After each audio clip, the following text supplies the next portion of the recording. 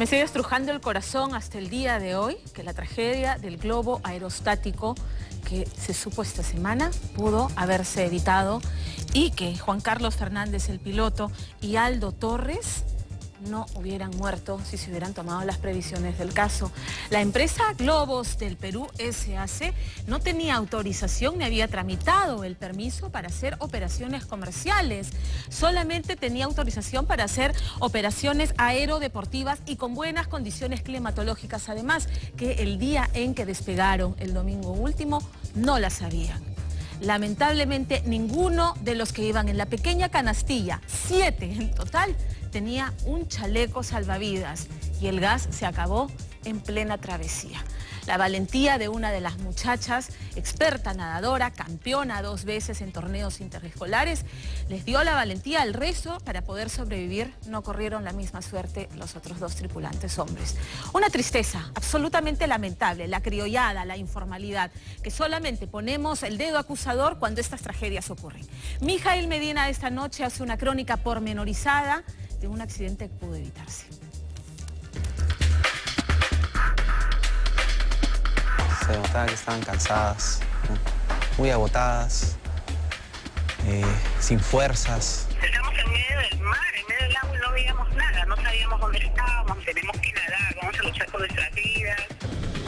Eh, habían tres chicas juntas aferradas a un balón de gas y 200 metros más al norte habían dos chicas más eh, agarradas de un plástico rojo.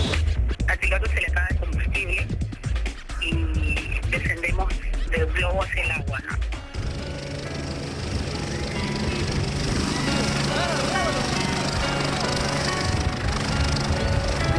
Sí, sí, eso es lo que dice, eso es lo que dice.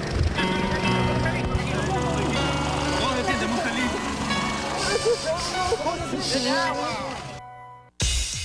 Nueve horas de terror, 540 minutos de pánico y en medio del infinito mar de malas cinco valientes mujeres se aferraban a la vida, cada una de ellas luchando para mantenerse a flote, intentando vencer a la muerte.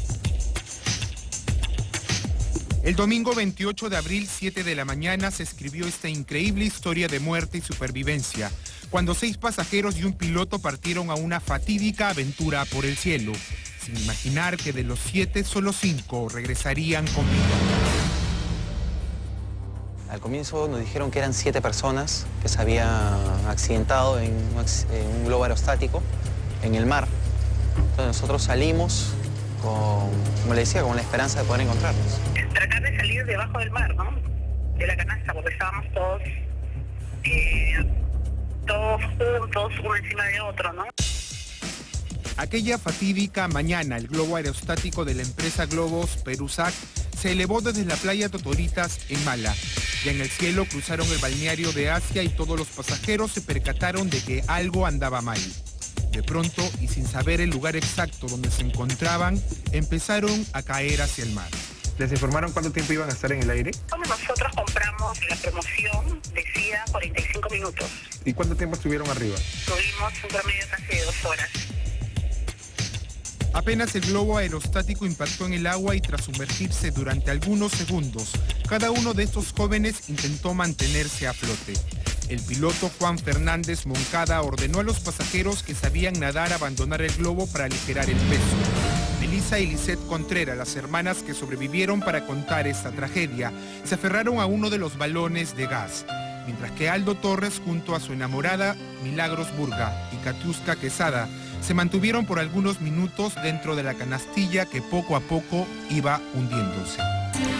Recuerdo que hablaba y decía que el balón era como nuestra embarcación. Yo le, yo le gritaba, le decía, chicos, no se den por vencidos. El piloto le dijo a Katiuska y a Milagros, antes de que ellas se bajen, que eran las que no sabían nada, que él no sabía nadar. Y que tenía que bajarse de la canastilla. Todos. Y él se iba a quedar solo porque era el piloto y que tenía que comandar su, tripu- su, su tripulación, digo, su embarcación. Desesperados y divididos en dos grupos, las hermanas Melissa y Lisette Contreras se mantuvieron juntas con la esperanza de ser halladas. Sin embargo, la deshidratación y los efectos solares comenzaban a apoderarse del cuerpo de todos los pasajeros. Bastante frío, a eso de las 4 ya la mañana se pone más, más sube más, con más fuerza. El agua se pone más fría, sí. En mi caso y en la de Milagros eh, vomitamos espuma, ¿no? Por lo que tragamos agua del mar. Nosotros las, el canecillo lo metemos y las evacuamos a, a las rescatadas. La primera, en este caso, fue una señorita que se llamaba Milagros. A ella la pusimos acá. Y el procedimiento es rápido y continuo, ¿no? Mientras es una evaluación rápida de ver cómo se encontraba todo. Ella estaba en un, eh, un cuadro de hipotermia de moderada, severa. Junto a las cinco mujeres sobrevivientes se encontraba Aldo Torres, el joven publicista que intentaba sostenerse de otro balón de gas. Aldo estaba con mi hermano inicialmente en el, en el balón, pero Aldo estaba en shock y les pedíamos que todos vengan a hacer un solo balón para estar todos juntos y recobrar fuerzas. Claro. Mi hermana vino, pero él no quería venir, estaba este, bloqueado. Por supuesto, él luchaba por su vida igual que todos nosotros, ¿no? Pero la corriente fue más fuerte, más fuerte y de un momento a otro ya nosotros ya no lo, no lo vimos ni lo escuchamos, ¿no? Melissa Contreras y sus compañeras al ver que Aldo Torres, a quien acababan de conocer, comenzaba a desesperarse, intentaron darle fuerzas para que no se dejara vencer. Aldo, vamos, tú puedes, nada, ¿no? Vamos a salir de esto, ¿no? Entonces me decía, ya viene la ayuda, sí, ya nos estamos buscando. Según los testimonios de los sobrevivientes de la tragedia, el piloto Juan Fernández Moncada, quien no sabía nadar, decidió mantenerse en el interior de la canastilla del globo. Al llegar el mediodía y tres horas después del naufragio, las cinco jóvenes observaron una escena que jamás olvidarán. Vimos el cuerpo del piloto flotante, boca arriba, con los ojos abiertos y la boca abierta, inerte. ¿no? En realidad sí lo vimos que él había fallecido ya. Nosotros no quisimos mirar más ni, ni entrar en más pánico de lo que estábamos, ¿no? En medio del mar y durante dos horas las jóvenes intentaron buscar una orilla. Al llegar las 2 de la tarde, Francesca, la menor de las cinco mujeres, quien apenas hace cuatro horas habían subido junto a su tía Katiuska para disfrutar del viaje en globo, comenzaban también a dar muestras de cansancio. Aferrada al balón de gas, parecía dormirse. Cuando ella se quería ir a dormir, le decía, Francesca, vamos, sido campeón en natación. Amor, vamos a salir de esto, vamos. Pues ellas cuando suben, cuando suben se, eh, empiezan a temblar, sienten frío, pero lógicamente nosotros empezamos con nuestro procedimiento, ¿no? A secarlas, a colocarlas descansadas, les dimos chocolates, cosas que le dieran calorías, ¿no? Que lo necesitaban en ese momento. Estas valientes jóvenes, aún con las esperanzas de ser rescatadas, escucharon al fin una señal que les devolvía el alma al cuerpo. Escuchamos un sonido, pero súper lejano. Me, me imagino que puede ser de un helicóptero, la verdad sin idea porque no se veía nada. Y ahí nada más. De las cinco sobrevivientes, Milagros Burgas comenzaba a sentir el cuerpo entumecido. La hipotermia se agravaba en cada minuto que pasaba. Sus piernas y brazos se volvían rígidos. El problema de Milagros era, era que ella no sabía nadar, entonces como no, no pudo movilizar sus piernas, sus brazos, eh, fue la más afectada en este, en este accidente, ¿no?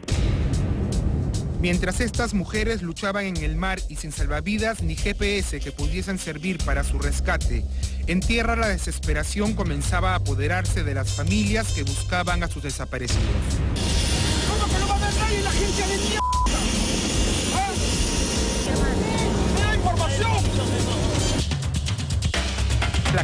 De Puertos dio la alerta y de inmediato dos helicópteros de la Marina y otros dos de la policía sobrevolaron todo el sur chico de Lima, pero la intensa neblina hacía imposible ubicar a las víctimas. Acá inician la- el rango de búsqueda. De acá comienza hacia la izquierda, hacia el hacia norte.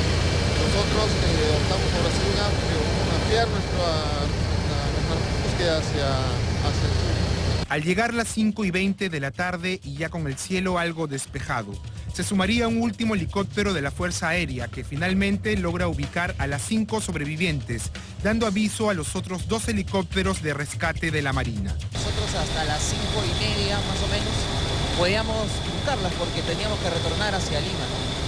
Y felizmente la hemos encontrado eh, a los 15 minutos de iniciar nuestra búsqueda y nos ha dado tiempo de poder seguir buscando, pero lamentablemente ya no puede encontrar a los demás. Cerca, al primer indicio, fueron encontradas las primeras tres personas. Estaban ellas agarradas, agarradas a otra botella. Y como les explicamos anteriormente, 200 metros más estaban las otras dos personas. Eh, nos hemos dirigido ¿no? lo más rápido posible al hospital naval para que ellos se encarguen de, de las mujeres. Los primeros hombres que tuvieron contacto con las sobrevivientes fueron estos dos buzos de la Marina que se aproximaron hasta ellas para evaluar cuál de todas estaba en peor estado. Bajaron la canastilla y en el mar intentaron darles ánimos a las jóvenes, ordenando que fuera Milagros Burga la primera en ser rescatada. Decidimos hacer la evacuación uno por uno, hicimos el trabajo izarlo al helicóptero y de ahí comenzamos a apoyar en lo que son los primeros auxilios en ese cuadro de hipotermia. Francesca y su tía Katiuska fueron las siguientes en ser subidas al helicóptero. A 20 metros de ellas se encontraban las hermanas Melissa y Lisette Contreras, que eran rescatadas en simultáneo por otro helicóptero. Gracias a Dios, estas personas estaban tranquilas ¿no? y se pudo trabajar mejor. ¿no? En ese sentido las secamos, las envolvimos, dejamos a una primero acá y vimos que a la próxima, ¿no? fueron minutos, fueron rápidos mientras que por tierra y por mar seguían siendo buscados Aldo Torres y el piloto Juan Fernández. Lamentablemente, dos días después se conocería el fatal desenlace, cuando el mar varó sus cuerpos, iniciándose una pesadilla para sus familias.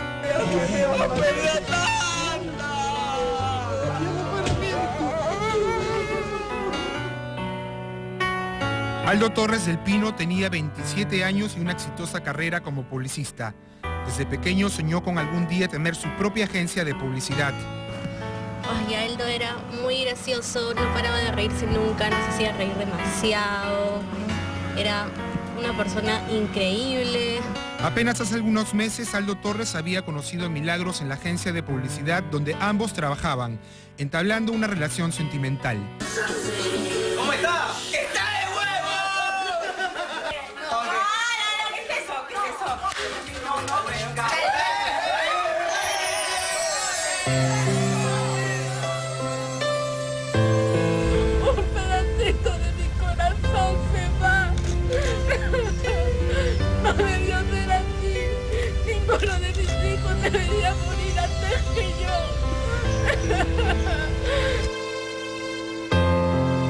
Sin lugar a dudas, la vida de estas cinco jóvenes han quedado marcadas para siempre. Solo sus ganas de vivir hicieron posible que durante nueve horas pudieran vencer a la fatalidad, allí donde para muchos es casi imposible resistir.